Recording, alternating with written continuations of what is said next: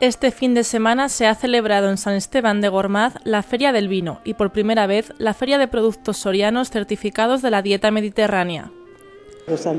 Tenemos que tener en cuenta que la dieta mediterránea abarca todos los países mediterráneos con sus diferentes culturas, sus diferentes tradiciones y traer aquí a un pequeño núcleo de San Esteban de Gormaz, posiblemente a esos países, yo creo que va a ser una idea muy interesante y bastante atractiva de futuro. Más de 30 empresas sorianas mostraron sus productos en el pabellón del Polideportivo Municipal. La iniciativa ha sido llevada a cabo por el ayuntamiento de la localidad en colaboración con el presidente de la Fundación Científica Caja Rural, Juan Manuel Ruiz Liso. Una de las propuestas que traigo es, y, además me gustaría, alcaldesa, que fuera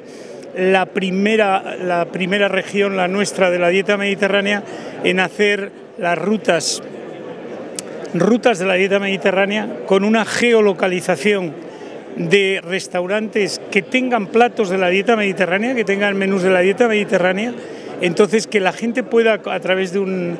del, móvil saber dónde hay platos. Bien, estas rutas que llevarían, vamos a poner un ejemplo, aquí eh, en San Esteban, sería complementar visita de bodegas, comida de la dieta mediterránea, la eh, em, el medio ambiente, las visitas culturales, es decir, un, El vino tampoco perdió protagonismo y se degustaron vinos de 13 bodegas de la denominación de origen Ribera del Duero, a las que se unen cinco de otras denominaciones de origen. El domingo tuvo lugar la cata donde se eligió el mejor tinto joven y rosado de la feria.